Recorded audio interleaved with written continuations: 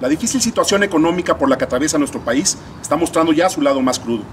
La inflación en México alcanzó ya su nivel más alto de los últimos 12 años. Sus efectos se sienten en los alimentos, en la ropa, en la vivienda, pero también se siente como presión sobre los servicios que se prestan en el Estado. Los insumos para el transporte público han subido, al igual que todo. Los costos de los combustibles, las refacciones y en general de los factores que determinan el costo del servicio se han incrementado sensiblemente. Los estudios nos dicen que la tarifa del transporte público en nuestra ciudad, desde un análisis estrictamente técnico, ya no puede sostenerse. De hacerlo, el sistema simplemente colapsaría. Sin embargo, la situación económica por la que atraviesa la gente después de la pandemia hace indispensable encontrar mecanismos para que el incremento en los costos de operación no tenga que pagarlos el usuario, particularmente quienes menos tienen.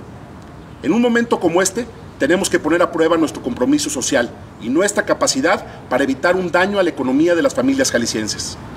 Por eso, he tomado la decisión de que lo que queda de mi gobierno no aumentará la tarifa del transporte público. La tarifa de 9.50 será la que paguen los usuarios en la ciudad de Guadalajara de aquí hasta el último día del 2024. Para lograr este objetivo sin colapsar el sistema, vamos a crear en el presupuesto del próximo año el Fondo de Apoyo para los Usuarios del Transporte Público con 500 millones de pesos para subsidiar con 50 centavos la tarifa y amortiguar así el impacto inflacionario en la cartera de la gente.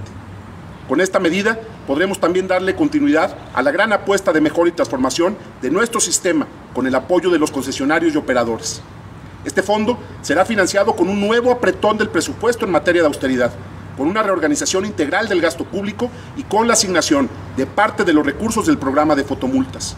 Para el 2024 haremos el ajuste necesario en el fondo para contar con los recursos necesarios para desdoblar el mismo esquema y mantener la tarifa en 9.50. Confío en contar con el respaldo del Congreso, no solo para aprobar estas medidas en el presupuesto del año próximo, sino para que se realicen las reformas que den permanencia en el tiempo a este fondo de apoyo y que éste se convierta en una pieza fundamental de una nueva política tarifaria. Estamos en el último tramo para terminar la gran transformación del transporte público de la ciudad, para tener un servicio de calidad, con certeza de tiempos de traslado, mejores rutas, camiones renovados, tiempos de espera cada vez más cortos y choferes capacitados.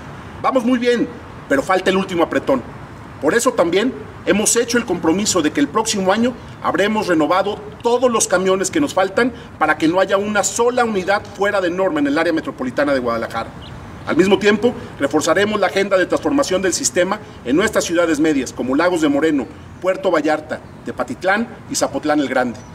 La construcción de la línea 4 al sur de la ciudad, la consolidación de mi macro periférico y de todo el sistema de BRT, las mejoras permanentes en nuestras tres líneas de tren eléctrico y la ampliación de nuestro sistema de movilidad no motorizada serán tareas en las que nos concentraremos en los siguientes meses. En Jalisco estamos construyendo el sistema de transporte que nos merecemos para convertirnos en un ejemplo latinoamericano por la calidad del servicio y por la apuesta que hemos hecho en materia de sustentabilidad. Pero al mismo tiempo, manteniendo una tarifa social en momentos de profunda dificultad económica, demostramos nuestro compromiso con quienes menos tienen.